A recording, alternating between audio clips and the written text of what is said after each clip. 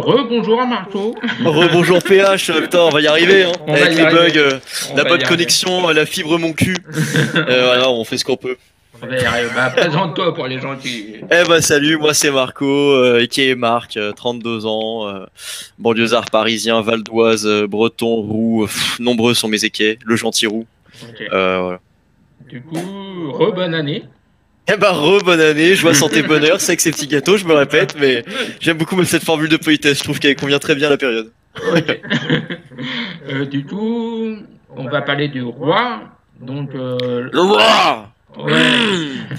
Le comme je te l'expliquais du coup en deux, il y a deux secondes, donc c'est c'est la manif qui était un peu à l'origine de ça avec Chief et Madou et du coup ils se sont dit on va faire un événement qui ressemble au battle rap aux États-Unis où en gros les mecs quand ils entendent une bonne barre ils font tu vois, de genre ouais, c'est ça qu'on veut, tu vois c'est un peu ça le l'onomatopée est basé là-dessus. ok. Du coup, tu fais partie de la roi. Peux-tu nous expliquer le concept? Alors euh, je vais l'expliquer en deux secondes et s'il y en a qui veulent des détails il faudra aller voir la vidéo qui a été faite sur la chaîne Madou Live sur laquelle je vous renvoie. Euh, concrètement, ouais. Allez, allez voir ça après, après, après l'interview. Alors, en gros, euh, le Covid, la situation sanitaire, le cassage de couilles, donc euh, pas d'événement. Donc, dernier événement de Battle Rap, c'était le RC Sud, euh, tu y étais. Euh, un miracle que ça ait pu se faire. Ouais. Euh, concrètement, les gens qui aiment le battle rap, on n'avait pas envie d'attendre deux heures, pardon deux heures, euh, deux ans pour pouvoir refaire un petit événement avec des masques et tout. Et en gros, euh, donc l'idée vient de, de Madou, Chief et la Manif qui se sont dit on va faire un événement euh, avec euh, en mode ambiance battle rap euh, dans les caves aux États-Unis là dans les espèces de hangars qu'ils font où en gros les seuls publics ce sera euh, les MC, euh, l'équipe technique et l'orga. Donc on réduit au minimum, il n'y a pas de public, c'est rediffusé en streaming, donc tu peux l'avoir en streaming. Alors payant, je sais, euh, pour les modalités, si c'est trop cher, vous vous plaindrez à Madou, de toute façon, vous vous rendrez compte que c'est pas trop cher, parce que pour 25 euros en plus, donc 25 euros la journée, donc de 10h à 18h, vous suivrez tout le live avec donc le, bah, le- la préparation, les MC en coulisses, euh, on- voilà, il y aura des petites interviews qui seront faites, il y aura tous les battles, donc pour 25 balles en avant-première, je pense que pour moi c'est donné, mais, euh, mais bon, je comprendrai que chacun n'ait pas 25 balles à claquer là-dedans. La rediffusion sera disponible gratuitement, mais pas tout de suite, vous vous doutez bien, ce Ouais. sera euh, quelques semaines, peut-être mois après, euh, vers avril, j'imagine. Donc en gros c'est ça et le but c'est ambiance battle rap, pas de public quoi. Donc ça va ça va se rentrer dedans euh, vénère. Et pour ceux qui veulent voir à quoi ça ressemble, je vous invite à regarder des battles aux États-Unis, même si vous comprenez pas grand chose, au moins vous, vous verrez un peu l'ambiance. Les KO, TD et ce genre de trucs. Ok, ok, bah, j'irai voir. Enfin ça c'est au Canada, mais c'est pas grave, Je je connais pas du tout. du coup, tu es contre Wolves? Exact. Je sais pas comment on dit. Euh, peu importe. Ouais. Euh, du coup, tu étais main event euh, contre Nikoka au RC Sud, au Ouais. dernier RC Sud. Ouais. Pour, pour toi, euh, est-ce que c'est le meilleur adversaire que tu auras affronté sur scène? Euh, bah pour ça, il faudrait que. Alors en fait, je vais faire appel à ta mémoire. Euh, il faudrait que tu me dises là absolument toutes les phases de Walls contre Nikoka, parce que du coup, j'aimerais bien me rappeler, mais comme j'avais 3 grammes, je ne me rappelle plus de ce battle. Et euh, sais que et je salue Nikoka d'ailleurs, qui est un bon pote. Et euh, et alors et franchement, j'ai voulu hyper Nikoka sur le coup parce que euh, parce que je- j'aime bien euh, j'aime bien ce qu'il fait. Et puis bah quand c'est ton pote, tu vois, tu hype le truc. Donc j'aimerais bien parce que Walls du coup transition, euh, je considère que évidemment euh, c'est le meilleur qui surpasse de loin euh, tous les gens que j'ai pu affronter jusqu'ici. C'est un, c'est un maître lyriciste. Euh, le mec est, est- est à un niveau si tu veux. Enfin, qu'il te parle, euh, t'es plus intelligent après. Tu vois, c'est magnifique, Big Il est vraiment fort. Incroyable. J'ai, j'ai, pff, je, je, je vais me prendre une déculottée. du coup, comment tu abordes ce battle? Est-ce que est-ce qu'il est déjà écrit? Euh, j'ai déjà écrit les trois rounds. Euh, c'est bon, je connais tout par cœur. Je suis, je suis fin prêt pour le 20 février. Euh, Cool. Voilà, je, je suis Cool. prêt. Je répète tous les soirs. J'ai un poster, un poster de Walls au-dessus de mon lit, et je m'entraîne à lui cracher dessus euh, avec, avec le plus de postillons possible. pendant que je parle. Du coup, le roi, c'est une première en France. Comment tu vois, toi, évoluer ce truc? J'en parlais avec, euh, j'en parlais avec mon super bro, euh, le Milo Creed, que je salue également, euh, le Milo que tout le monde connaît. J'en parlais avec lui et je disais que pour moi, euh, cet événement, euh, soit c'est euh, un truc qui marche pas, ça peut arriver, tu vois, un truc qui marche Ouais. pas et ça enterre euh, totalement le battle rap euh, jusqu'à sa renaissance future que je ne connaîtrai probablement pas. Euh, ou alors, ou alors, ce que je pense à 90%, bon, euh, 90%, ouais, euh, ça va relancer le mouvement justement parce que énormément de gens attendent euh, du battle rap. ils veulent ce genre de truc et, euh, et je pense qu'il y a moyen que le format plaise énormément. Euh, on va pas s'emmerder, avec des présentations longues. On va pas s'emmerder avec des des, des, des, jeux de scène, de je sais pas quoi, euh, abusifs, tu vois. Il va y avoir vraiment du battle rap et euh, je pense que les gens ont besoin de ça. Donc, à mon avis, on est sur un renouveau parce que il va y avoir. Si cet événement marche, tu peux être sûr que déjà il y en aura plein d'autres. Euh, d'autres roars, tu vois, édition 2, 3, 4, 27, tu vois. Et il y a même certainement d'autres gens, d'autres ligues qui s'en inspireront à juste titre, parce qu'il faut s'inspirer de, de, ce qui fonctionne. C'est bah oui, du marketing de base. Alors, est-ce qu'on peut imaginer que le RC Sud soit pour les rookies, que le roi soit l'étape d'après et que l'étape finale soit la grande scène du RC je pense pas qu'on puisse voir les choses de manière aussi euh, calibrée parce que concrètement, il y a pas, pour moi, il n'y a pas, euh, à part le RC Espoir, si tu veux, il n'y a pas l'antichambre du RC. Hmm. Et, euh, et, le Roar, c'est vraiment un événement pour les amateurs de battle rap. Donc en cheville, plus ou moins, avec le RC. Après, je ne connais pas précisément les tenants et aboutissants, mais je sais que le, le battle Madoua Parzit aurait dû se faire au RC 17, ouais, c'est ça et que du coup ils ont déplacé le match-up sur War parce que je cite Madou avait la flemme de tout réécrire euh, je, je, le cite lui-même hein, donc je spoil personne. Mais euh, du coup du coup ouais big up à Madou ouais. et du coup je pense que euh, ils sont en cheville avec le RC et que en fait tout ça euh, tout ça, tout ça, faut pas se mentir, on est quand même lié sur un, une envie de faire des beaux matchs et une envie de battle rap, tu vois, parce que concrètement, aller au RC, bien sûr que c'est un objectif évidemment, mais euh, mais tu peux faire un, enfin, j'ai vu des ambiances de RC régionaux euh, incroyables euh, qui n'ont rien à envier au RC, tu vois, enfin, je sais pas si tu avais vu à l'époque un peu les RC Ouest, les RC Sud, du coup, tu as pu voir, etc. Et je trouve que l'ambiance est déjà tellement énorme que tu peux considérer que tu as fait le RC quand on était là. Après, c'est pas la grande scène, eh, tout le monde voit ce que je veux dire. Mais euh, non, je pense que non, Roar, c'est un événement indépendant. Euh, et puis écoute, on va voir comment ça va se passer. T'as quand même, enfin, t'as quand même des noms de fous sur la carte parce que les trois mecs qui sont à l'origine, bah, c'est trois gars qui sont top tier RC. T'as quand même Madou, la Manif Chief, donc euh, qui sont tous les trois dans le top 5 des RC pour moi. et puis après derrière, as, ils ont le retour de Taipan quoi. Enfin, la dernière fois qu'on a vu Taipan, c'était RC 12 si je me trompe pas. Enfin, c'est incroyable qu'ils arrivent à le faire revenir. Ouais, carrément. Carrément, carrément. Donc euh, je sais pas, c'est un événement indépendant, je pense que je pense que ça va, je pense que ça va marcher. Moi aussi. Est-ce que tu sais s'il y aura des jugements? Aucun jugement. Aucun jugement. Et je n'aime pas les juges. DRK. euh, on, pas de jugement, nul. Parce que les jugements, ça biaise. Le, le public, ça biaise ça biaise ta manière d'écrire, ça biaise ta manière de faire. Quand il n'y a pas de jugement, quand il n'y a pas de public, t'as pas. Je pense, j'ai pas, j'ai jamais eu l'occasion de faire ce genre de truc, c'est pour ça que je suis impatient. Je pense que t'es pas biaisé par euh, ce que tu veux donner à ta, la direction que tu veux donner à ton battle, à part toi ce que tu as envie de faire. Et du coup, euh, non, non, pas de jugement. Le jugement, ce sera après sur Internet. Il y aura un jugement qui sera proposé aux internautes, évidemment. Hein, ah, on, veut, on veut un gagnant à chaque bah battle, bien sûr, évidemment. Donc ce sera fait, mais après, parce que pour moi le plus représentatif, c'est pas forcément cinq mecs du milieu, parce que c'est ils le font. De taf en parle très bien dans le, podcast avec Gary d'ailleurs. Hein. Il, parle des juges de manière euh, tout à fait clairvoyante et euh, je vous invite à aller voir ça d'ailleurs. Mais Big up à Yari, big up à big up à Mehdi, big up à tout le monde, la terre entière. Donc ouais, ouais, les, les, les, juges parfois sont pas forcément mauvais, mais ils font leur travail d'une certaine manière. Il y en a qui vont juger la sensibilité, il y en a qui vont juger au round bah par round, il y en a qui vont juger sur l'ambiance générale. Tu vois, il y en a qui vont juger la réaction du public. Et on peut pas biaiser parce que après, on peut pas euh, blâmer ça parce que le, véritable gagnant est élu par le, public, si tu veux. Enfin, à un moment donné, si dans le public, tu as 90 personnes qui disent que tu as gagné et 10 personnes qui disent que tu as perdu, bah, a priori, tu as gagné, tu vois. La vie du public reste quand même prédominant. Même si, attention, je suis pas en train de dire que parce que le public t'aime bien, t'es bon, hein. attention, ça n'a rien à voir. Non, mais, euh, mais voilà, ce sera jugé par le public et à mon sens, c'est ce qu'il y a de plus logique. Ouais, euh, du coup, on va passer à la Teach Clash. Euh, T'appelles la Teach Clash contre Nahari. Nari. Nahari. J'y pensé. Et euh, es-tu content euh, de ta prestation? Sur quels aspects? Bah, je sais pas, euh, de ta présence en scène, de, ça ton, dépend, de ton battle, de ton. Je, te fais le contexte rapide de Kick Clash. Donc Kick Clash, c'est à Bourg-en-Bresse. Euh, il faut prononcer Bourg-en-Bresse. Ne dites pas Bourg-en-Bresse ou Bourg-en-Bresse. les, les, les, gens de là-bas n'aiment pas. Donc Bourg-en-Bresse, euh, pour donner l'idée, là-bas, Bourg-en-Bresse, la première fois qu'ils ont vu du battle rap, c'était jamais. Donc ils ne savent pas ce que c'est.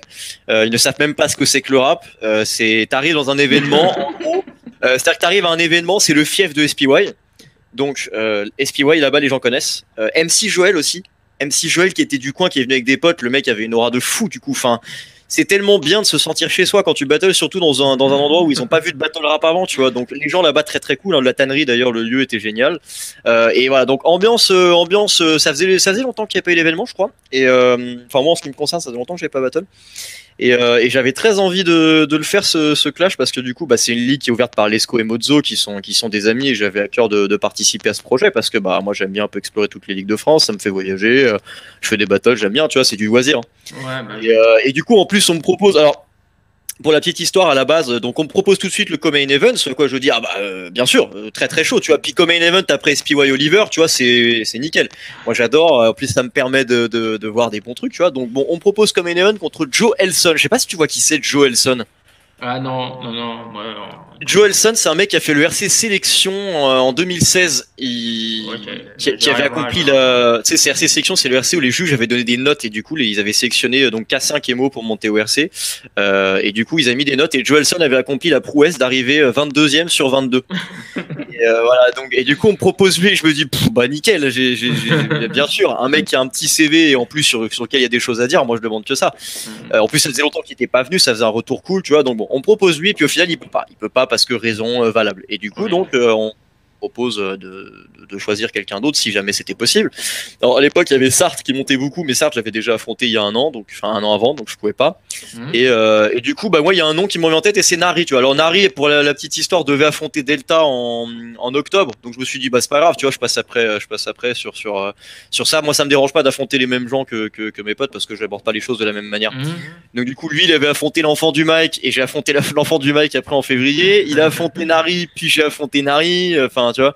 Mmh. Et euh, donc ouais, Nari, c'est moi qui ai demandé parce que bah, j'avais envie, tu vois, euh, il me faisait envie, j'avais des trucs à lui dire. Euh, et, et, ouais, je pense que ça pouvait faire un bon battle, tu vois. À mon avis, c'était c'était un bon match ouais, comme pour lui comme pour moi. Alors du coup, donc pour revenir sur ma presta, donc pression parce que je suis comme une event, donc je, je, je sais.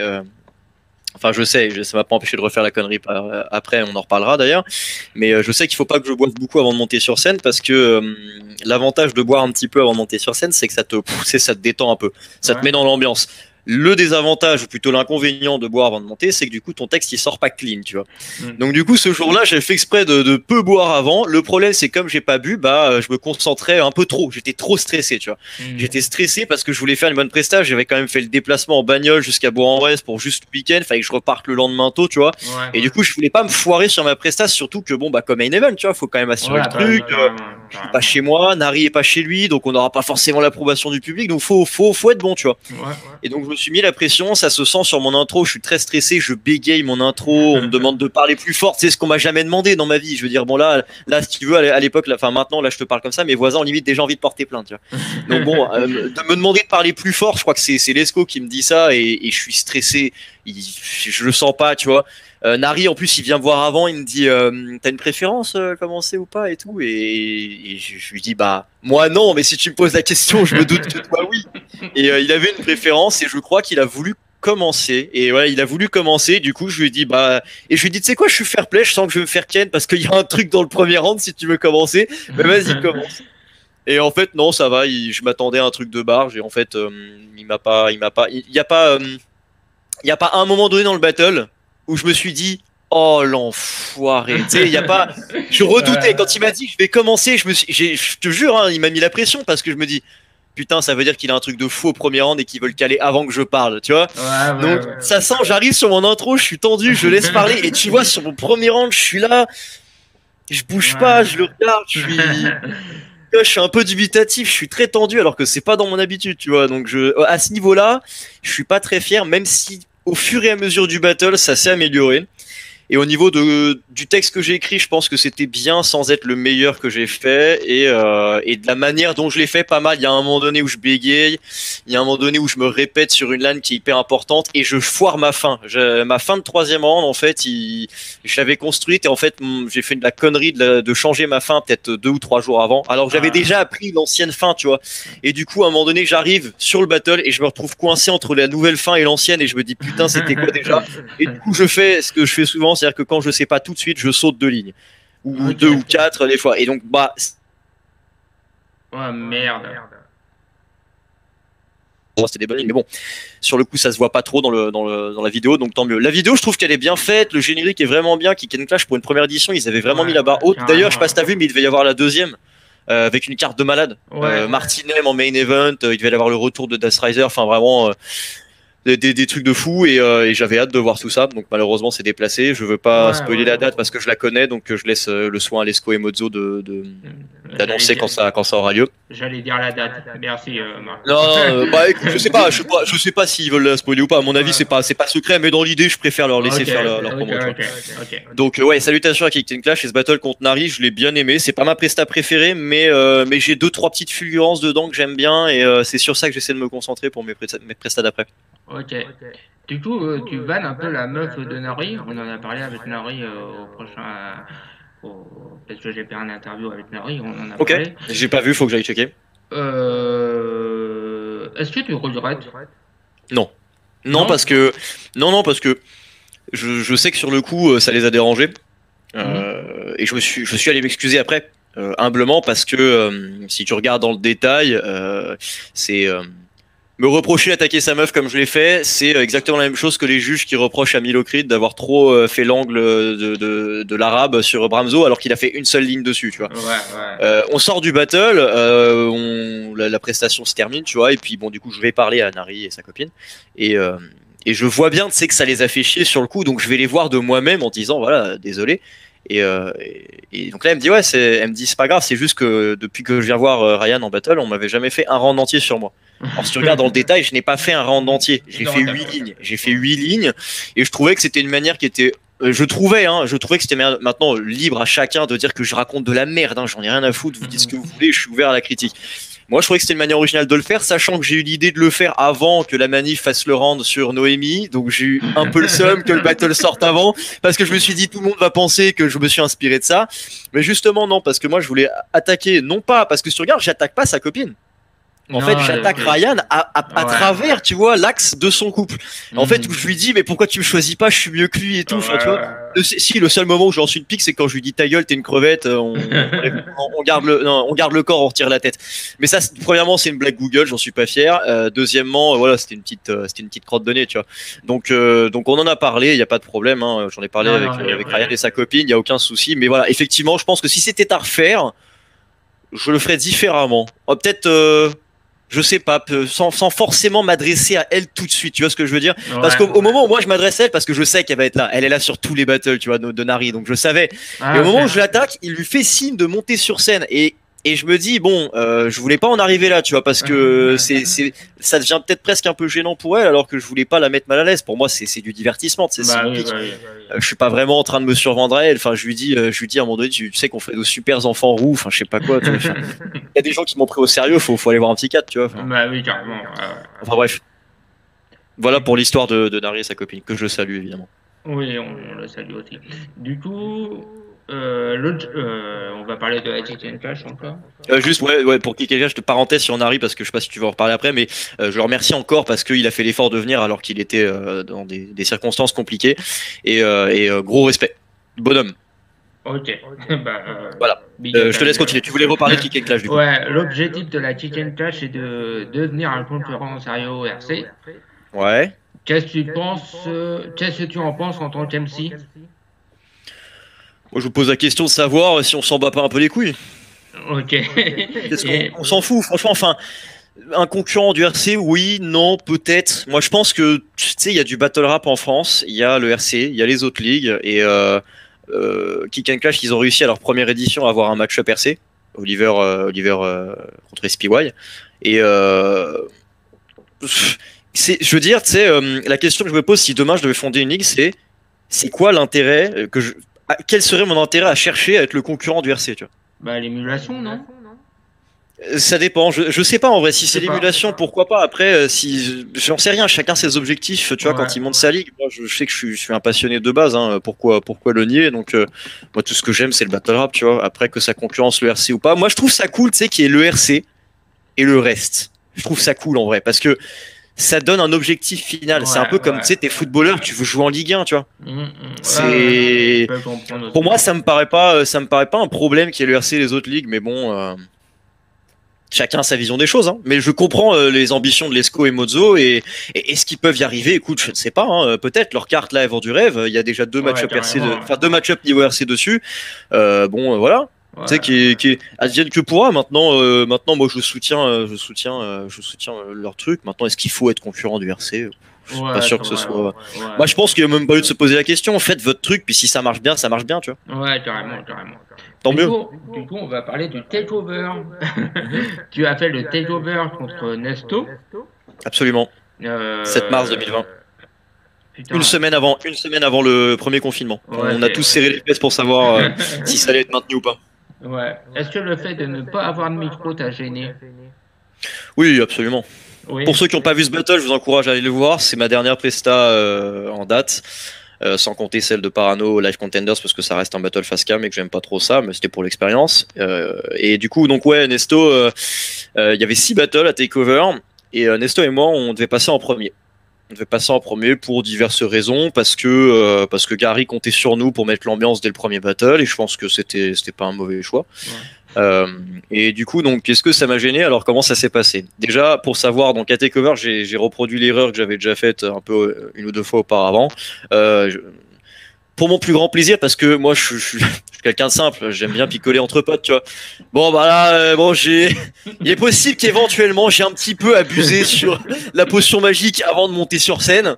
Et, euh, et j'arrive, avec ma bouteille de, de badois euh, remplie d'un breuvage étrange. Et, euh, et en gros, j'arrive et je suis là et suis complètement dans le truc. Et en gros, voilà, euh, 10 minutes avant de monter sur scène, avec Nesto, on, on se check, tu vois, il commence à nous installer les micros. Euh, on monte sur scène avant que ce soit filmé et en fait, on se rend compte que mon micro fonctionne et pas le sien. Ah merde.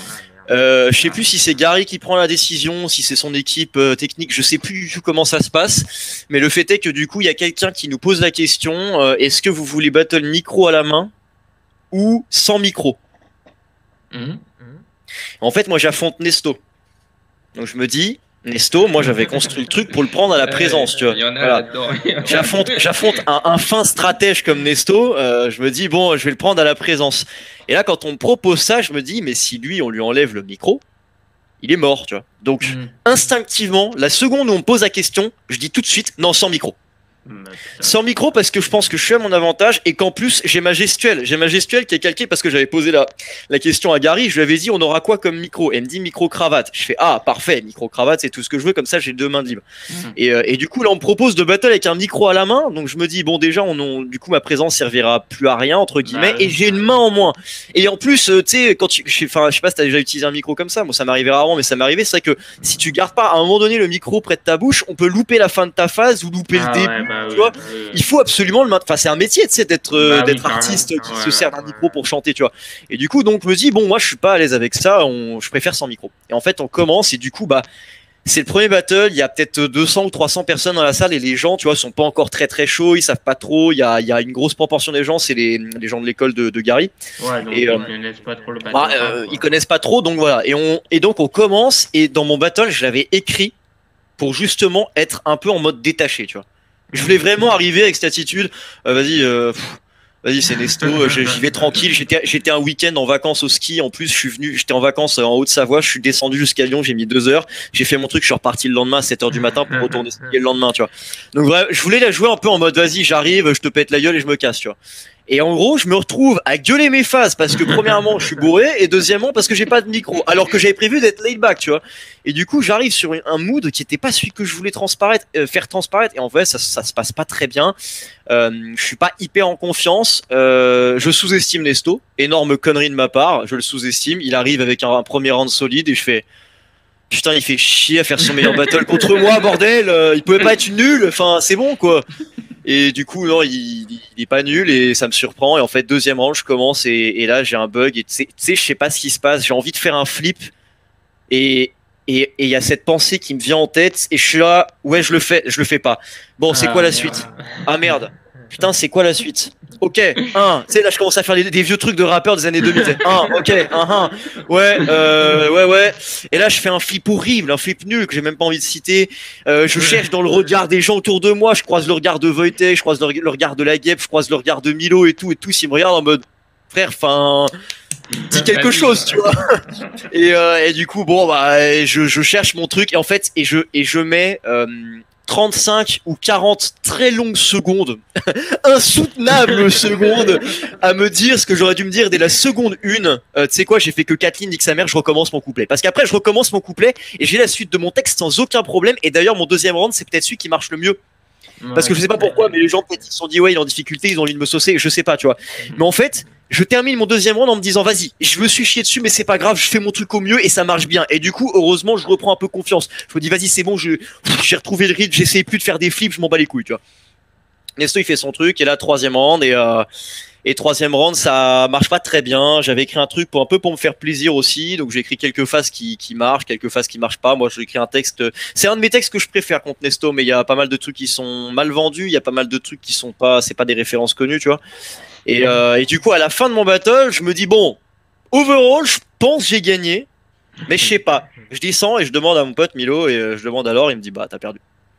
Merde. Bah, non, mais, non mais parce que parce que on en avait, enfin depuis que j'ai commencé le battle rap, pour moi c'est un truc que, que je dis toujours, c'est que pour moi quand tu fais un choke, quand t'as un choke de 30 Ah secondes, pour moi c'est quasiment éliminatoire. C'est-à-dire que Ah tu oui, perds au moins ce round-là si tu juges round par round. Tu perds le, le suivi du public, tu perds ton rythme, tu, tu te casses Mm. toi-même, c'est gênant, tu vois. Enfin, pour moi quand t'as un gros choke comme ça, c'est éliminatoire. Donc je suis sorti en mode vas-y, c'est bon, j'ai perdu, ça casse les couilles. Et euh, du coup j'ai passé une fin de soirée horrible, j'ai été toxique, j'ai continué de boire. Enfin bref, c'était pas. Bon, C'était pas la meilleure soirée de ma vie. Euh, le- sur le battle, heureusement, ça se voit pas trop. Mais... ouais. Du coup, s'il y a un takeover 2, euh, tu le sauras ou pas Alors, il y aura un takeover 2. Je laisse le soin à Gary de faire la com, même si c'est même si c'est pas trop lui qui gère le takeover 2. Hein, ce sera quelqu'un d'autre euh, dans son entourage. Euh, il y aura un takeover 2. Je connais la date, mais je la dis pas. Euh, je connais un ou deux noms sur la carte et c'est déjà très attrayant. Je connais un ou deux noms du bas de la carte et déjà c'est déjà pas mal, tu vois. Et, et le haut de carte, il veut pas nous dire le main event. On a essayé de savoir, hein, mais Gary, Gary, lâche pas le morceau. Hein. Gary sait tenir un secret. Tu vois, c'est pas le mec, tu lui parles deux secondes, il va te lâcher son truc. Hein. Il... Euh, Ah, il lâche pas le steak, hein. Ouais, c'est ça. Donc du coup, euh, donc il y aura un takeover 2. Est-ce que j'y serai en tant que MC La réponse est non. Est-ce que j'y serai en tant que public? Euh, Le Covid en décidera. Euh, malheureusement, a Bah priori, oui, oui. je pense que ça ne sera pas le cas. La Covid, le Covid, je m'en bats les couilles. du coup, oula, Ou ma voix. Ça fait combien de temps que tu battles? 5 ans. J'ai commencé en décembre 2015. Décembre 2015, mon premier à la Punch Airline, organisé par Peyo, que je salue. Euh, La Punch Airline Province euh, numéro 3, organisée euh, dans un bar à Paris dont j'ai complètement oublié le nom depuis. euh, 60 personnes. Je passe premier battle, je passe en premier. Mon adversaire choisit que je commence. J'avais jamais fait du battle rap, du slam, du rap, du... j'avais jamais rien fait. Je commence premier battle, première, première personne qui parle. T'avais 60 personnes qui me regardaient. J'étais dans un état de stress, mon pote, tu n'imagines pas. Je suis du cul, mais c'était insupportable. Et j'ai j'ai fait une presta, je fais une presta qui est horrible. Le battle est sur YouTube, mais vous vous démerdez pour le trouver. Il est hors de question que je vous envoie ça. Et du coup, tu te souviens du moment où tu t'es dit que tu avais passé un cap? Ouais. dans ton écriture et dans ta Ouais, popularité? Absolument. Ouais, ouais, absolument. Ah, ça, ouh, il y en a eu plusieurs des caps. En gros, euh, mes, mes battles entre 2015 et 2017, je peux plus les voir. C'est, insoutenable pour moi. Euh, je crois que c'était Chief qui en parlait la dernière fois aussi. Je, je peux pas regarder une de mes prestas de avant 2018. C'est impossible. Je, je me trouve horrible. Je débutais, j'ai, trop enchaîné les battles. Je me suis pas laissé le temps de progresser. J'avais pas, je savais pas ce que je voulais faire. Si je voulais m'imposer, euh, plaire au public, faire un truc comme ci, comme ça. Je savais pas du tout quoi faire. Enfin bref. Mm. C'est une catastrophe. Donc en gros, je dirais que jusqu'à euh, jusqu'à mon huitième ou neuvième battle, je regarde pas. Je les regarde pas, je les déteste. Le pire, c'est qu'un de mes battles que je déteste le plus, c'est celui contre Croco euh, au BPZ en avril 2017 et qui, qui est quasiment million de vues. Alors ça, c'est ça reste un mystère parce que donc en fait, j'affronte pour la petite histoire, j'affronte un mec qui s'appelle Croco et moi j'appelle Marco. Et en fait, Croco et Marco, donc c'est deux personnages de One Piece. Ah bon Euh. Voilà. Et, euh, et donc en fait, je pense qu'il y a des mecs qui ont cliqué en pensant qu'on avait un rapport avec One Piece quelque part. mais en fait, mais pas du tout, absolument pas. Et les, et les battles sur cette carte, le même jour, t'as genre 1000 au cri d'Oliver Twist. Le battle, il a 20 vues. Moi, je suis contre Croco, un mec qu'on a quasiment plus jamais revu après. Puis, enfin, moi à côté qui suis pas top, tu vois. Et j'ai, et j'ai, on a 930 000 vues là, je crois. Enfin, c'est, c'est grotesque. Mais bref, du coup, non, euh, mon premier déclic, ça a été le RC West, euh, le deuxième. Euh, celui où je battle Arzul, bah, big up à NRQ d'ailleurs pour le gars, Lucio, l'asile, etc. Et euh, ces mecs-là, trop cool. Et du coup, donc j'affronte Arzul, qui est un mec que j'adore aussi, un, gars que je voulais affronter, tu vois. Alors c'était deux rounds d'une minute, donc c'était très très court. Euh, RC West en septembre 2017, si je me trompe pas. Et c'est le premier battle, moi, que j'ai bien aimé regarder en vidéo. Déjà parce qu'il est court et que du coup, j'étais forcé de faire du tri dans mon texte et que bah quand tu fais du tri dans ton texte, bah, il y a moins de lines qui passent à travers. et puis en plus, là, la, la, la scène était, était, vraiment bien. Les gens étaient très bienveillants, le public, ça soutenait bien. Euh, j'avais, j'étais plutôt content de ce que j'avais écrit en plus. Mon adversaire était bon aussi, donc pour un bon battle, il faut deux, deux bonnes personnes. tu vois. Bah si t'en as qu'un qui fait une bonne presta, ça donne au mieux un body bag et au pire, c'est pas intéressant, tu vois. donc euh, non, c'était vraiment cool. Et c'est à partir de là où j'ai commencé à, à trouver mon truc, je pense. Euh, j'ai, j'ai sur 2018, je fais, euh, je fais vraiment une, une bonne année. 2018, euh, j'affronte euh, j'affronte Matt l'Asphalt à la 59 Arena en avril et je gagne. Euh, facile alors qu'il était bon, tu vois, mais bon, les conditions étaient pas top et je me suis mieux approprié sa QI. je gagne après en, octobre, j'enchaîne deux battles à une semaine d'intervalle. Je bats, je bats Sartre à la BBC et une semaine après, je bats Olive Brune à la Street Fighter. Euh, j'étais vraiment, vraiment là en bonne forme et je commençais vraiment à me sentir bien dans mon truc, à savoir ce que je voulais faire. C'était, c'était cool, tu vois. Mhm. Donc il y a Olive Brune et derrière, alors en 2019, je crois que je battle pas avant la guêpe. Hein. Ah ouais, hein, c'est ça. Hein. Je crois que, je crois qu'entre 2018 et 2019, je fais pas un seul battle entre Olive Brune en, en octobre et la guêpe en ah si si j'ai si si j'ai VIT VIT à l'arène à la draft arène que j'aime beaucoup. Ça c'est peut-être mon battle préféré d'ailleurs contre VIT parce que lui il est très très drôle. J'adore VIT euh, je voulais absolument l'affronter quand on me l'a proposé. J'ai dit mais oui bien sûr. Euh, et du coup il nous propose ça en main event de la draft pour booster un peu le truc. Je me dis vas-y tu sais quoi je, fais un main event d'une draft mais je m'en fous. Moi tout ce que je veux c'est m'amuser. Bah et euh, je fais un, vrai, un vraiment bon battle. J'aime bien ce que je fais. Lui j'aime bien ce qu'il fait aussi. J'aime beaucoup je rigole tu vois. C'est un des battles où je regarde et je suis pas gêné de ma presta. Mm. donc il y a eu ça en mars et après j'affronte la guêpe. Et alors, Bon, donc le premier déclic c'est le RC West euh, fin 2017 et le deuxième déclic c'est la guêpe en fait parce que la guêpe, euh, là tu parlais du tu parlais du déclic au niveau euh, reconnaissance ou je sais plus, quel terme t'as employé. Mais en gros, c'est à partir de ce battle-là où vraiment on, commence à parler de moi. Parce que c'est le premier battle de, compliments mixte en France. Ah en francophonie, il n'y avait jamais eu un battle de compliments entre un homme et une femme, tu vois. Donc j'affronte la guêpe qui était une slameuse du coin, donc en plus voilà, il y a des choses à dire. Euh, c'est une fille, euh, elle est mineure, donc je me dis mais attends, mais c'est du gâteau, tu vois. Écrire un battle de compliments dans ces conditions, mais mais je voulais pas écrire un battle de compliments chiant, tu vois, parce que pour moi mm. les battles de compliments ça peut vite devenir ennuyeux si tu si tu fais un truc, ouais, qu'est-ce que t'es beau, qu'est-ce que t'es, tu vois, si tu sais pas le faire, ça peut vite devenir chiant et et du coup. Euh, moi, je voulais vraiment pas faire ça. Je me dis, tu sais quoi, mais je vais faire un battle de compliments, mais comme si je la clashais en vrai. Et, ça a très bien marché le jour J. Euh, le jour J, les gens ont vraiment eu un bon accueil. Ça se voit d'ailleurs sur, sur scène, je suis très à l'aise. Euh, après, de toute façon, le public à Bordeaux, le public de Ta mère la mieux, euh, l'organisation de Maras, Chico, le, Lionel, Lionel de son bar et enfin voilà, je veux pas saluer toute l'équipe, Nina aussi, parce qu'il y, y, a beaucoup de gens que je veux saluer de ce côté-là. Ils sont tous très cool et l'ambiance était vraiment top. C'était c'était le premier événement, tout le monde l'attendait un petit peu et du coup à ce battle là, il sort en vidéo. Euh, et, là, Donny m'envoie un message. Il nous a envoyé un message à tous les deux, je crois, la Guêpe et moi. Et, euh, et du coup, c'est là qu'on a commencé à me voir. Les gens ont parlé de moi, du coup, sur le groupe Facebook, sur le machin, les commentaires YouTube. Et euh, Gary fait un best-of, best-of de Ta mère la mieux, et je suis dedans, évidemment. Il fait un best-of de Takeover après. Tu vois, enfin, les gens commencent à parler de moi. Donc, le, disons que l'exposition a commencé avec le battle contre la Guêpe qui cumule aujourd'hui 50 000 vues, ce qui, est, ce qui est plutôt un bon score. Carrément, carrément. Et euh, pour toi, c'est la même façon d'écrire. Euh... Attends. Pour toi, est-ce la même façon d'écrire un battle ou un, et un battle de compliments Ça dépend. Ça dépend de ton style déjà de, de base. Ça dépend de ce que tu as envie de faire. Ça dépend de qui t'affronte moi, je m'adapte forcément à l'adversaire que j'ai en face et aux conditions. Je vais pas écrire mon truc de la même manière en fonction des conditions, tu vois. Et, j'ai envie d'écrire pour moi aussi, c'est-à-dire que je fais mes petites private jokes pour moi-même, je fais mes petites références et euh, parce que ça me fait plaisir, parce que je le fais pour moi aussi, faut pas se mentir. Mm. Mais euh, mais voilà, là j'affronte. Euh, j'affronte une fille, donc je me dis bon déjà on va partir sur du compliment, mais derrière le compliment il y a toujours un peu d'hypocrisie et moi je pense que ce qui a marché c'est que c'était de l'hypocrisie assumée, tu vois. Mm, mm. Je lui dis t'es championne de France de slam, t'es Ok, pardon, t'es championne du monde de slam.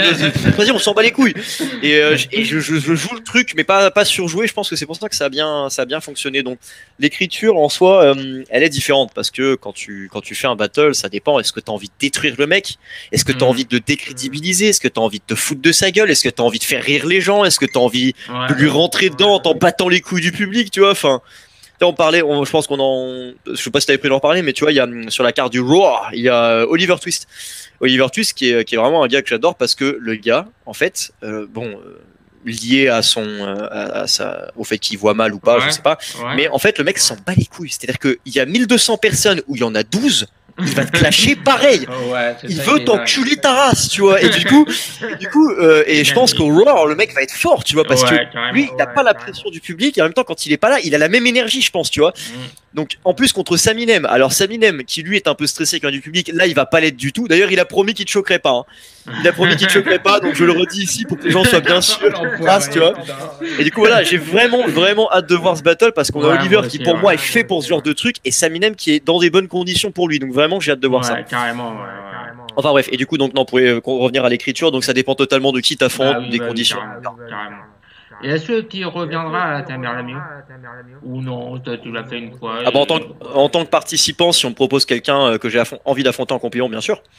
Bien sûr, je reviendrai avec grand plaisir. C'est un exercice que j'aime bien, tu vois. Après, il me faut proposer, enfin, il faut que j'ai quelqu'un euh, que j'ai envie de complimenter, tu vois. Ok. Et tu Que pour l'exemple, parce qu'il y a, parce qu'il y a des gens qui m'en avaient parlé, euh, je ne ferai pas un battle de compliments avec euh, Milo. Ça Ah n'arrivera pas. Ben non, c'est pas intéressant du tout. On s'en fout. Enfin, c'est pas intéressant du tout parce que c'est mon pote que je vois dans la vraie vie. Ça va être, ça, je le vois tout le temps. Ça va être très gênant, tu vois, de, de faire ce genre de choses. Enfin, euh, c'est, enfin, tu vois. Il y a, il y a des, y a- chacun a ses codes de fonctionnement dans la vie et pour moi, euh, j'ai pas du tout envie d'aller faire des compliments sur scène à Milo, si tu veux. Enfin, c'est pas intéressant. La Gap, quand on s'est affronté, je la connaissais un petit peu, mais je la connaissais pas tant que ça. C'est ça qui était drôle. Moi, ok. Ok, ok. D'ailleurs, j'en profite pour dire que euh, voilà, on est bien mariés hein, pour ceux qui posent la question. Euh, arrête- arrêtez de douter. Enfin, voilà, si on a encore qui pensent que non, mais si on a encore qui pensent qu'on blague, enfin, faut arrêter. C'est voilà, c'est vrai. Je vous sortirai le, le certificat de mariage si vous voulez. Voilà. Ok. Bah, big up à la guêpe alors. Euh, Bisous, chérie. Bisous chérie. Euh, du coup, tu, tu as, on va parler du LC maintenant. Live contenders. Oh yes. Tu as Vas-y. fait le LC contre Parano. Absolument. Est-ce que tu es content de ta prestation au niveau de ton écriture, au niveau voilà. Est-ce que je suis content de ma prestation contre Parano? Bon, c'est difficile de dire qu'on qu'on est content de sa prestation euh, par rapport à un battle euh, sur vidéo, parce que euh, parce qu'on va pas se mentir, tous les gens, tous les gens qui ont fait un vrai battle par rapport à un battle en vidéo savent que ça n'a rien à voir. L'intérêt de battle face à sa caméra avec les problèmes éventuels de, de, de caméra, de son, etc. Enfin, pour moi, hein, et je, je le dis franchement, pour moi, ça, c'est. J'ai testé, hein, j'ai testé parce que voilà, je voulais, je me suis dit, vas-y. En fait, pour la petite, je, je vais y revenir après. En gros, pour la petite histoire, au Live Contenders 1, euh, je, je sais plus pourquoi euh, j'ai eu vent de tout ça, mais euh, j'entends que euh, en main event, John A, donc le Québécois, cherche un adversaire en main event, un mec qui a déjà battle. Et là, je me dis, tu sais quoi, John A, un Québécois, vas-y, franchement, pour l'expérience, je suis chaud, tu vois. Mhm. J'envoie un message, je dis que je suis chaud. Euh, Madou, il me fait, ah ouais, ok, bah vas-y, euh, ok, John A, d'accord, c'est bon. Je dis bon, euh, voilà, euh, on- je commence à écrire, etc. Et après, juste après ça, il y a l'histoire avec Obia qui arrive. Ah merde. Il y a Ah l'histoire oui. avec Obia, et en fait, il y a, euh, il y a des, des esprits qui s'échauffent. Euh, je rentre pas dans les détails, mais en gros, John A veut plus participer. vois. Il veut Ok. plus participer au Live Contenders, et du coup, je me retrouve comme un con parce que j'avais écrit un très bon texte, j'étais content de l'affronter, tu vois, et je me retrouve comme un con. Donc, euh, on propose euh, un- quelqu'un d'autre, et euh, je sais plus qui, mais je dis non, euh, ça m'intéresse pas. Ensuite, je, je, je dodge, tu vois, je dis non, non, c'est bon, moi c'était pour John A, hein, vraiment, faire un battle face cam, j'y tiens pas plus que ça, tu vois. Et euh, voilà. Donc non, euh, toujours pas. Deux, trois. Je me propose, je me propose après euh, quand il y avait, je sais plus, si c'était la manif, Chief, je sais plus. Je me propose, tu vois, mais mais non. Donc je dis bah tant Mhm. pis. Et après, euh, et là c'est là où je vois au comment dire, au, au 5, c'est ça celui que j'ai fait? Euh, que- t'as fait aussi ou quatre. t'as fait le 6 toi? Le 4 Ah ouais, c'était le 4, ouais. Et le 4, il y a pas non. Et le 4, il y a Parano et je me dis ah putain Parano, j'ai bien envie de l'affronter aussi. Donc je me propose et Parano est d'accord. Donc bon, ok, c'est parti, let's go. Euh, je me motive, je me dis bon, je, je préférerais l'affronter sur scène, hein, évidemment. Bah hein, euh. Parano, j'aurais bien évidemment préféré l'affronter sur scène. Mais euh, bon, c'est bon, ça, ça se fait, tu vois. J'écris, j'ai des idées, mais bon, je me dis quand même, c'est devant un écran, c'est bof, tu vois. Et euh, bon, bon, et, le, le truc se passe, euh, l'événement, bah, tu étais en tant que, alors tu étais en tant que juge, non? Ah oui, c'était. Euh, en tant que juge, il me semble. Non, ah non, attends, ah, je sais plus. Bon bref. Bon bref, et du coup, euh, bon, Parano, il était, euh, il était, il était bon. Après, il était pas, il a pas forcé quoi. C'était, c'était surtout pour faire la promo de son truc là, de son sa cagnotte pour les, les gamins qui ouais, ouais, et, euh, et, du coup, bah, il était pas, il était pas à fond. Moi, j'avais écrit un truc, mais bon, j'ai pas, enfin, ça me dessert d'être devant un écran parce que moi, j'aime bien être sur scène, tu vois. Donc, euh, donc bon, euh, j'ai écrit un texte qui est pas mauvais. Après, mes rounds sont plus longs que les siens, c'est un peu inégal. Bon, les juges prononcent ma victoire, donc euh, content, tu vois. Mais bon, en sachant, voilà, en remettant les choses dans le contexte, tu vois, c'est pas une victoire au LC, c'est cool, mais c'est pas une victoire c'est pas une victoire sur scène et puis de toute façon franchement gagner un battle comme ça c'est pas c'est pas intéressant tu vois ni pour lui ni pour moi. Donc ouais je suis plutôt content. Après euh, après ma caméra est dégueu parce que c'est celle de mon ordi. Du coup on me voit on voit mes gestes faire des trucs comme ça on sait pas ce qui se passe. Heureusement j'ai un putain de casque grâce à mon pote que je salue et mon pote Thibaut aussi. Donc j'ai le son est bon de Dieu merci. Mais euh, l'image est dégueu et puis bon voilà, j'ai un peu changé mon truc. J'ai fait ce que j'ai écrit un peu comme euh, j'ai écrit un peu comme j'écrivais pas forcément d'habitude, mais euh, c'était pas mal. Et puis j'ai eu à cœur d'apprendre mon texte par cœur parce que Live Contenders pour moi les mecs qui, enfin il y a trop de mecs qui lisent leur texte. Tu vois. Et euh, pour moi, pour moi déjà faire un battle face à une caméra c'est déjà un peu wack. Mais alors si en plus tu lis ton texte, mais bon je, je juge pas parce que je juge pas parce qu'il y en a plein qui l'ont fait que je respecte donc. Donc voilà, moi je, trouve pour mon avis personnel qu'un battle face caméra c'est pas très intéressant, surtout si tu lis ton texte. Mais euh, bon. Respect quand même au live contender, c'est Amadou. Au moins ça a fait ça a fait un peu de battle rap pendant pendant toute cette période, c'était cool. Du coup, dans, dans, cette génération qui émerge grâce au Covid ou à cause du Covid et au facecam, quel est celui qui t'impressionne le plus et qui donne envie de l'affronter sur scène je parle. C'est deux choses différentes pour moi. Pour moi, il y a personne qui m'impressionne parce que sur cam, ça vend pas du tout ce que tu fais en vrai. Euh, par contre, un que j'aimerais bien affronter et il le sait parce qu'on a déjà parlé et c'est lui qui m'avait proposé et je suis toujours d'accord, c'est euh, Aesop. Aesop, euh, c'est un peu, euh, on s'était dit ça à Takeover, on voulait s'affronter, tu vois, et euh, bon, on n'a pas encore trouvé l'occasion, mais qui sait Peut-être que le match-up se fera un jour, peut-être sur la grande scène, on ne sait pas, mais mais Aesop, ouais, moi j'ai très très envie de l'affronter. j'ai la vanité de croire que c'est réciproque. Maintenant, on va voir. On va voir. Moi, ça me ferait très plaisir parce que pour le coup, là, ça me donne envie de me surpasser. pas comme Walls, tu vois. Pas comme Walls. Walls. déconne.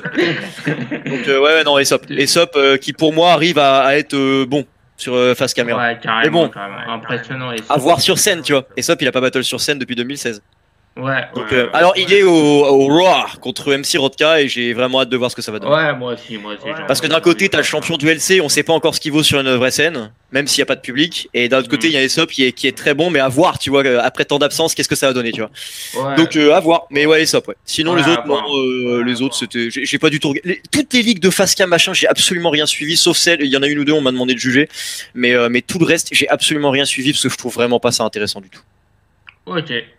Du coup, on va parler des RC maintenant. Euh, tu as fait plusieurs euh, battles à, la BBC, RC West, au Takeover, tout ça, tout ce qu'on a parlé, quoi. Est-ce que la grande scène du RC est un objectif pour toi Bien sûr. À, court terme. Bien sûr. Au début, euh, au début, ça l'était pas. Au début, ça l'était pas. J'ai commencé le battle rap en me disant, je vais en faire un, tu vois. Je me suis dit, vas-y, je vais en faire un pour le fun, ça va être drôle. Et en fait, euh, j'ai perdu. Je me suis pris une volée 3-0. Euh, le mec m'a mis le vrai, il m'a pas rappelé le lendemain, si tu veux. Bon, voilà. Euh, c'est ce qu'il fallait. Il me fallait ça parce que du coup, bah, moi, je suis un compétiteur maladif et en gros, je me suis pris trop, je me suis pris une rousse et ça m'a pas plu. Et ce jour-là, je tombe sur roux qui montait sa ligue, la Script Fighter à Nantes. Et je lui dis, bah, tu sais quoi, vas-y, je suis chaud. Je suis chaud pour venir à Nantes. Si, si tu me proposes un match, vas-y, ça me va. Et il me dit, bah, ok, ça, ok. Euh, il propose un mec, euh, Sanko. Euh, les vidéos ont sauté, malheureusement. On connaît l'histoire de la Script Fighter de l'époque. Ah et mais voilà. Mais en gros, voilà. J'étais un compétiteur. Je suis toujours un compétiteur. Et j'ai pris une rousse et ça m'a pas plu. Tu vois, je me suis dit, putain, fais chier. Je suis venu en me disant que je pouvais faire un truc. Je me prends une rousse, ça me va pas. Du coup, j'ai envie de progresser.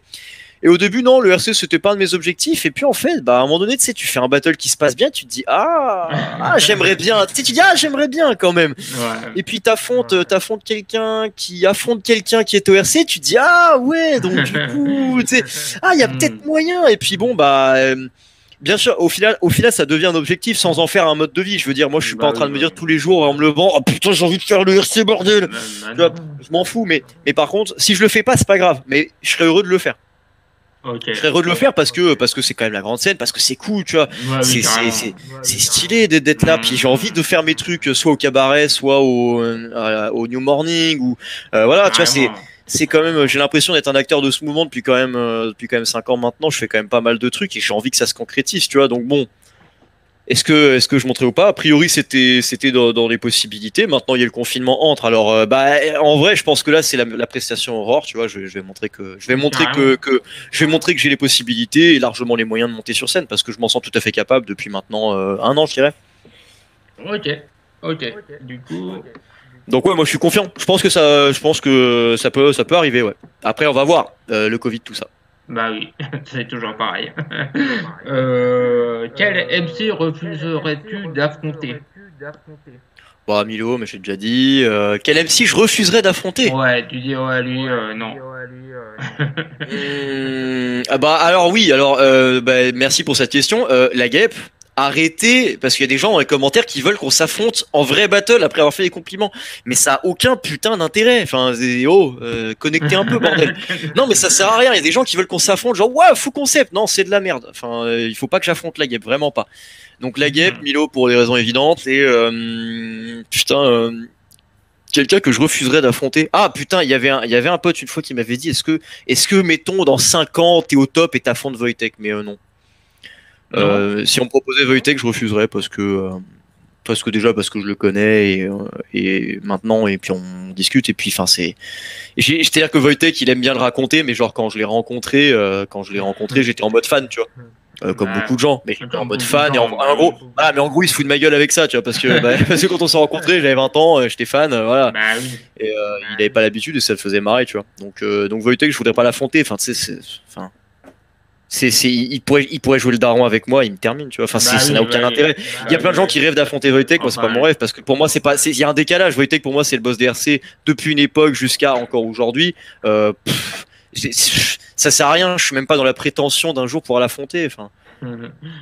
J'espère que si un jour j'en arrive à ce niveau-là, j'espère pour lui, tu sais, parce que et, pour les mecs qui veulent l'affronter, j'espère qu'il se sera fait détrôner à ce moment-là, parce que sinon c'est triste. non mais parce que c'est triste, tu vois. Enfin bon, euh, là, le, temps, le temps que j'arrive à son niveau, il y a encore du chemin, tu vois. bah, peut-être K5 ou RC17. Hein, Écoute, euh, le RC17 nous donnera la solution. mais quand sera le RC17 Bah oui, c'est ça le problème. Hmm. Du coup, quel MC rêverais-tu d'affronter justement? hmm, Putain, ça c'est une question qu'on m'a souvent posée. Euh, quel MC rêverais-je d'affronter? Bah euh, bon, j'en ai parlé, mais Sop du coup. Pour quelqu'un de mon niveau, je dirais, c'est à mon niveau, je dirais Sop. Euh, bah sinon, euh, Parano, j'aurais bien aimé sur scène, tu vois. Mhm. Parano, je pense que j'ai ce qu'il faut, tu vois, mais, euh, mais sur scène. Sinon, qui est-ce que je rêverais d'affronter? Hmm, En vrai, en vrai, moi j'aimerais beaucoup affronter Andra. Mais ah bon, je pense que je suis pas le seul. Mais Andra, tu vois, j'aimerais beaucoup l'affronter. Il y a beaucoup de choses à dire. Ouais, vraiment, vraiment, Andra, c'est vraiment un truc qui me tenterait. Et sinon, non, sinon, il y avait comment dire? Euh, sinon, euh, mais dans, dans une, catégorie que je mets un petit peu au-dessus, euh, il y aurait, il y aurait du, du Aladoum, tu vois. Aladoum, j'aimerais bien parce que c'est pareil, je trouve qu'on a deux personnages qui sont totalement différents.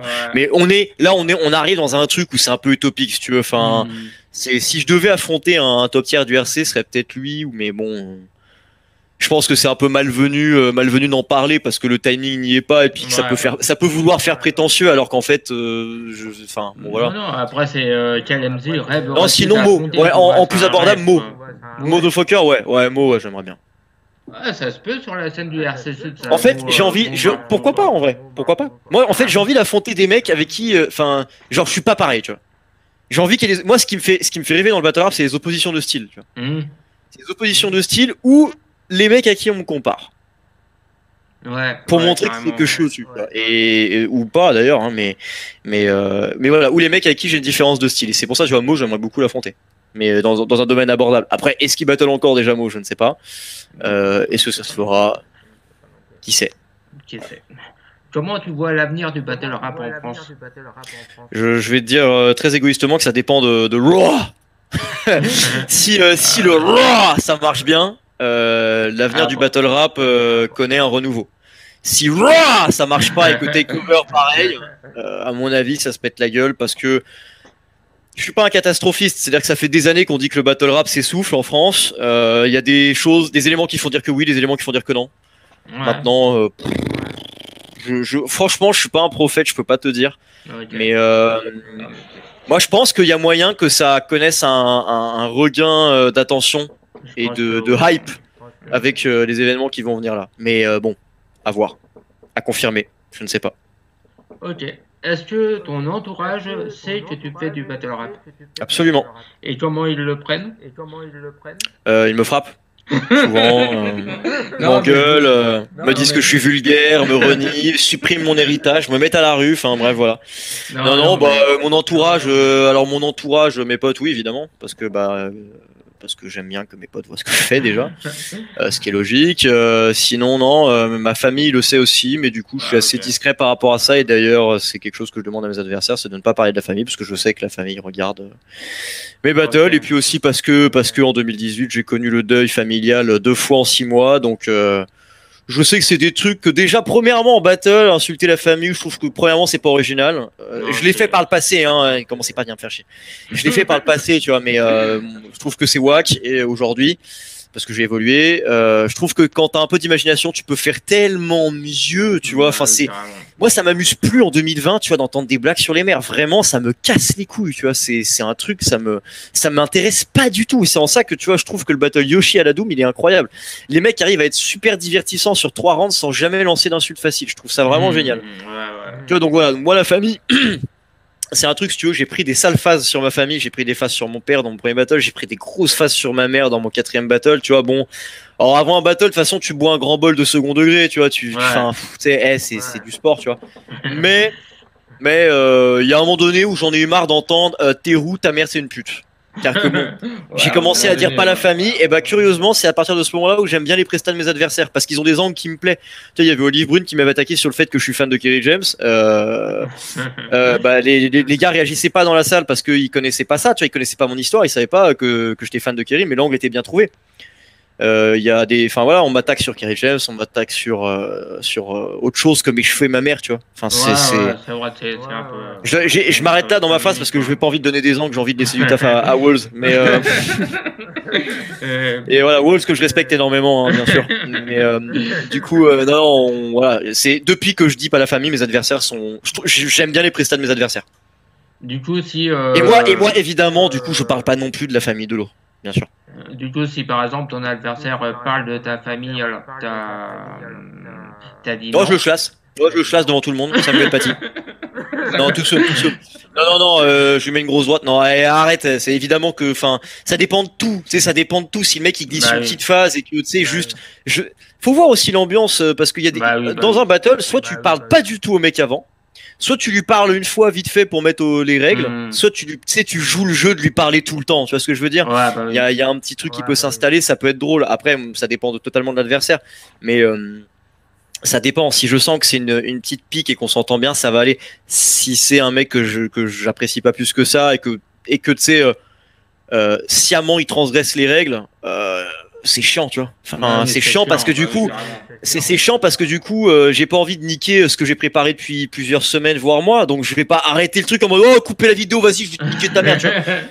Mais, Ouais, euh, ouais. mais en même temps, si le mec il vient dans ma face, tu vois, pour insulter ma mère alors que je lui ai clairement dit de pas le faire, sais qui sait ce qui peut se passer. Bah oui, bah oui. Je, je sais pas, je peux pas te dire, tu vois. Enfin, je peux pas te dire, oh bien sûr, je le. Enfin, bah oui, carrément. c'est débile, tu vois. Je, je sais pas, mais euh, non, mais personne fait ça. Dans le battle rap, je peux compter sur Non, les doigts de rare. une main les fois où on a vu quelqu'un faire ça.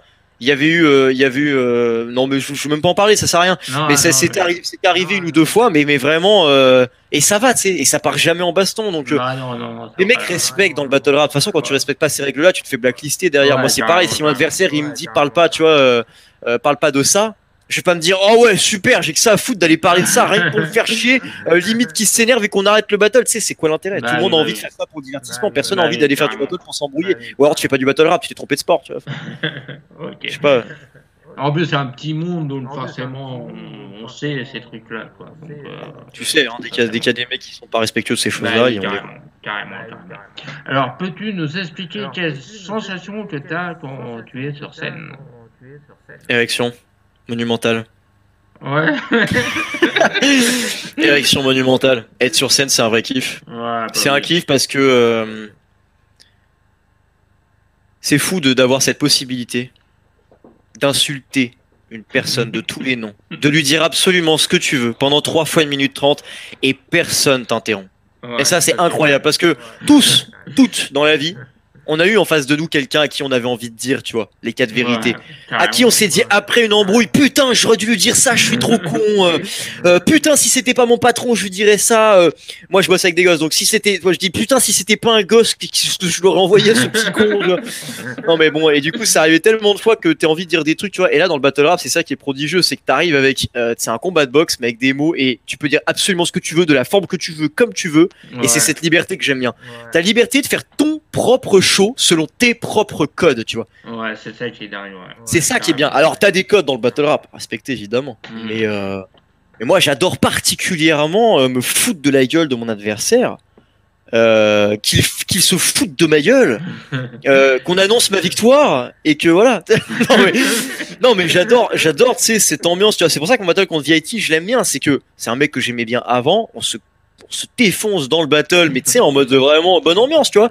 Et après, on rigole, on boit, on boit ensemble, et c'est cool, tu vois. Pour moi, c'est ça aussi. C'est, je fais pas le déplacement sur un battle pour aller me prendre la tête, tu bah vois. Oui, carrément. Je fais, bah mon, je, fais, mon, déplacement pour aller euh, faire mon truc, ma prestation. Euh, on est dans le domaine artistique, tu sais, on est tous dans un domaine artistique, ça nous touche mmh, tous. Mmh. Je fais mon truc artistique, je regarde les, les autres battles, j'aime bien parce que je suis client aussi. Je bois une bière, deux bières, douze bières, euh, voilà. et, et, voilà, moi, c'est ça que j'aime bien dans les événements, tu vois. Bah donc, donc bon, c'est ce qui est kiffant, c'est l'ambiance générale. L'ambiance générale, de pouvoir faire ça et puis, et puis d'en discuter après, tu vois. Parce que mine de rien, c'est un, c'est, t'as une communauté, bon, t'as, as pas mal de fruits pourris hein, dans cette communauté, mais, mais t'as aussi pas, bah, voilà, j'ai rencontré des personnes géniales. Milo, je l'ai rencontré dans le milieu du battle rap, tu vois. Et j'ai, donc, j'ai, comme j'ai rencontré des trucs, des gens cool, ça, ça me fait, voilà, ça fait plaisir d'être sur ce genre d'événement. Carrément, carrément. Et à quoi tu penses quand ce n'est pas ton tour de battle Ça dépend. Ça dépend, il y a des fois où je pense à mes plans cul, je me dis putain. Euh... non. Euh, non. mais alors pour pour l'anecdote, le seul battle où je suis venu en couple, c'est mon tout premier. J'étais avec une meuf à l'époque qui m'a quitté une semaine après. Coïncidence? Je ne crois pas. Je ne sais pas. Je me suis pris une rouste en public, elle m'a quitté une semaine après. Moi, je vois une corrélation directe, mais on n'en parlera pas. Mais c'est la seule fois où je suis venu en couple. Sinon, non. Euh, je pense, euh, je pense à la situation sanitaire. Je pense pas. pas. Ça dépend. Mec, ça, ça dépend.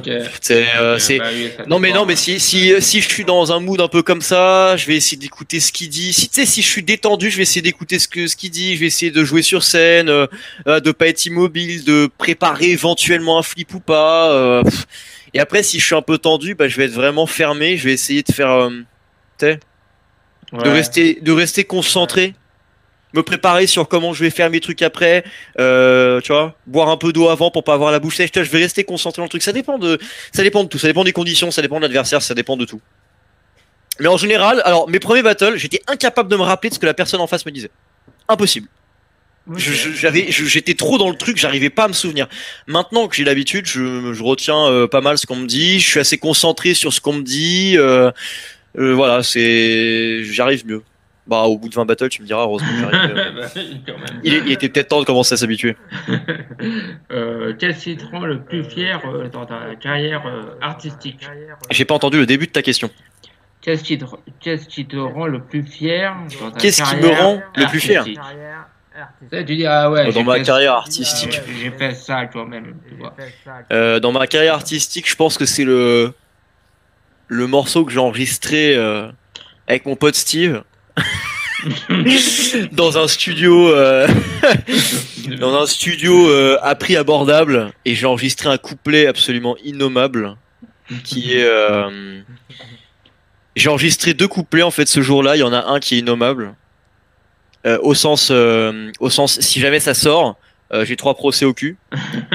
Et et il y en a un autre que j'aime bien et ça sortira peut-être un jour quand j'aurai pas la flemme quand j'aurais euh, quand j'aurais eu la, détermination pour aller payer un mix et un mastering pour faire un morceau de de ce nom. Parce que euh, le rap j'aime bien, mais je suis plus consommateur que pratiquant.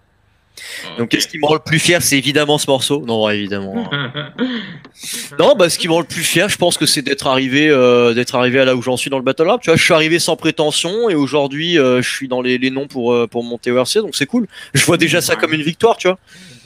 Euh, c'est pour reprendre la phase de Louvard, à un moment donné, il dit c'est déjà une victoire d'être là.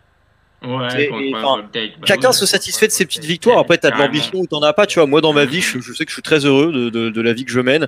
Euh, je suis très content de faire du battle rap, d'avoir la possibilité de faire ça, euh, des gens que j'ai rencontrés. Donc, euh, ce dont je suis le plus fier, c'est d'avoir réussi à me, à me hisser au niveau auquel je suis. Et puis, bah, j'essaie, j'espère encore progresser. C'est pour ça que j'ai hâte de faire ma, ma prochaine presta, parce que mine de rien, ça fait bah, bientôt un an que j'ai pas battle, quoi. Ah oui, quand même. Bah oui, oui. c'est Euh, mars, euh, mars 2020, euh, au takeover, donc. absolument. Ah bah oui. Euh, du coup, c'est quoi ton meilleur battle? Pour toi Pour moi, il y a différentes choses. Mon meilleur battle, c'est celui contre Delta.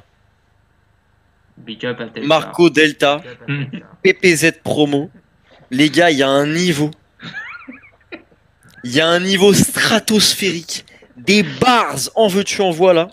Des doubles sens millimétrés, des schémas rime impeccables, vraiment. Allez voir ce battle, c'est une fierté pour moi. Ok, il y aura Non, un non, lien absolument dans- pas. Il y euh. aura le lien dans la description. Ouais, non, il y aura pas de lien dans la description, surtout pas, absolument pas. Non, non, non, non. euh, non, mon battle. Alors, le battle de moi que je préfère, c'est peut-être celui contre VIT. Ouais. Euh, au niveau de ma presta, le battle que. Non, ouais, c'est celui contre VIT. J'aime bien le battle contre la Gap, mais c'est un battle de compliments, donc c'est pas pareil. Bah oui, bah oui. Euh, mais euh, non, non, le battle contre VIT, ouais, c'est peut-être ma presta préférée. J'aime, euh, j'aime bien, ouais. Ah, le battle, ouais, pff, ouais, non, non, contre, ouais, contre VIT, ouais, ouais. Celui contre Olive Olive Brune, je l'aime bien, mais euh, quand même quelques passages à vide. Alors que contre VIT, je trouve vraiment, j'ai pas de, j'ai pas de loupé. Tu vois? Donc euh, ouais, Ouais. VIT, j'aime bien. BIT, euh, à la reine. Draft Arène, euh, Draft Arène, je sais plus combien. Ouais, que j'aille voir ça quand même. Attends. Non, non, mais euh, ouais. Draft ouais, Arène, VIT Marco. VIT Marco. Ok, bah Qu'est-ce que voir c'est que ça What the fuck Ouais Ah, tu regardes les vues Oh, je tombe sur non, je tombe sur des vidéos bizarres. là, Je vois un truc de jeu vidéo ou euh... what? Ah ouais, non, mais des fois tu tapes ton nom euh, et le nom de ton adversaire et il se passe des trucs très étranges sur YouTube. Ouais, faut faire attention. euh, faut faire attention. Est-ce que t'as euh, des projets de battle Ah ouais, pardon. Arène Tryout Marco vs VIT. ouais. Il y a 1700 vues. euh, allez faire péter les 2000 là, grâce à ton Allez énorme voir. communauté. Allez voir ouais. Bon, et du coup, tu disais quoi Euh, Est-ce que t'as des battles de prévus autres que Waltz Non. Enfin, il y a des possibilités, mais c'est pas encore conclu, donc non. On va dire qu'il y a que Wolves pour l'instant. Ok. Est-ce que t'as des projets artistiques hors battle Bien sûr, je sors mon album là, 17 titres, dans 2-3 mois. Restez connectés les mecs, ça arrive fort, vous êtes pas prêts? 2021 c'est mon année? Ok. non, mais sérieusement. non. Ok. Non. Non, c'est, euh, je- J'aime l'art, mais euh, pas au point, euh, pas au point d'en parler. Ok. Du coup, je vais te demander de terminer l'interview parce que tu as envie de dire euh, un dernier mot. euh. On a, Mm. on a presque battu le record. Ok, hmm, ah bah je vais lâcher mon freestyle. Oh, oh, ok, non pas du tout. Merci, euh, merci beaucoup de m'avoir invité. euh, je sais qu'il y a peu de gens qui regardent, mais que les gens qui regardent c'est habitués, donc ça fait plaisir. Ouais, carrément. Ouais. Merci à toi d'être là depuis le début. Euh, de- Enfin, depuis le début. On sait jamais, c'est depuis le début de quoi, de trucs. Mais il est depuis le début, PH. Tu sais Ouais. plus, tu sais pas. C'est pas grave, pose pas de questions, ta gueule, ta gueule. Non, mais euh, ouais, ouais, euh, bah, big up, euh, big up aux pizzas que j'ai mangé hier après-midi parce que, enfin, hier soir, euh, parce que c'était incroyable. J'ai passé le meilleur nouvel an de ma vie. Euh, j'ai fait un marathon Seigneur des Anneaux version longue. Sachez que c'est quand même 12 heures de visionnage et que j'ai jamais passé un nouvel an aussi cool. Euh, non, non, mais vraiment, c'est très très cool. Donc, euh, un énorme big up euh, au Seigneur des Anneaux, à Tolkien, euh, à Peter Jackson. Je vous aime. Euh, sinon, euh, je suis sur Among Us souvent avec des MC. Il y a Gary, il y a Milo, il y a d'autres gens, il y a Noli, etc. qui jouent avec nous. Donc, n'hésitez pas. Ouais. Enfin, moi, Sinon, je trouve ça cool que tu fasses ce genre d'interview. Je sais que moi, je parle beaucoup en plus, donc putain, ça va être long. Personne va regarder l'interview en entier, c'est fou. Tu mets les timestamps ou pas du tout, en vrai? Non, non, non, non, euh, je sais pas. Parce que moi, j'aurais- tu tu sais, tu pourrais essayer de mettre des timestamps, mais pas du tout. ce- Tu sais, genre, euh, pas, tu sais, tu mets en timestamp euh, rupture avec la guêpe, euh, timestamp euh, embrouille, embrouille avec, euh, je sais pas, tu sais. Enfin, Ouais, tu t'inventes des trucs de fou pour que les mecs ils se disent, wow, incroyable, qu'est-ce qui se passe? Donc ouais, merci à toi de faire ça, merci à toi de donner la parole. euh, C'était cool de, de pouvoir discuter, euh, discuter de tout ça. Ouais, Et puis du coup, euh, cool. Du coup, je vais aller manger. Parce qu'il se fait grand enfin. Et bonne année à tous. Ouais, Très bonne santé, soyez Ouais. heureux, euh, ne vous laissez jamais faire euh, ce que vous n'avez pas envie de faire, soyez libre. Et euh, j'ai pas plus de conseils bêtement philosophiques à vous donner. Ok. Big up. Peace. Ciao PH, bye.